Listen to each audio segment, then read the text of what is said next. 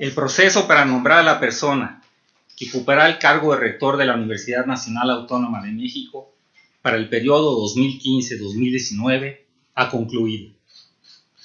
El acuerdo fue tomado por la Junta de Gobierno después de una amplia deliberación a final de un periodo de 44 días durante el cual conoció y analizó los argumentos de los integrantes de la comunidad universitaria, quienes contribuyeron a definir los principales retos que deberá atender el rector designado. Además de analizar la trayectoria de cada uno de los aspirantes, su proyecto de trabajo y el desempeño en la entrevista, para el nombramiento, la Junta de Gobierno ponderó, entre otras, las siguientes consideraciones.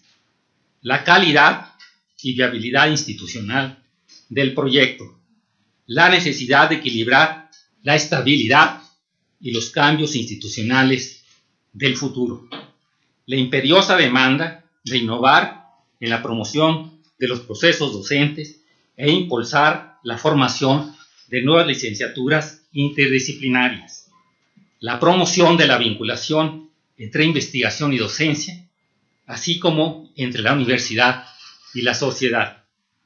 Consideró también la situación de la universidad en el contexto nacional e internacional. A juicio de la Junta, quien mejor cumple con estas consideraciones es el doctor Luis Graue, Luis Enrique Luis Graue Dígers. La Junta de Gobierno agradece la amplia participación libre y responsable de los más de 70 mil miembros de la comunidad universitaria y de manera especial la de los 16 aspirantes.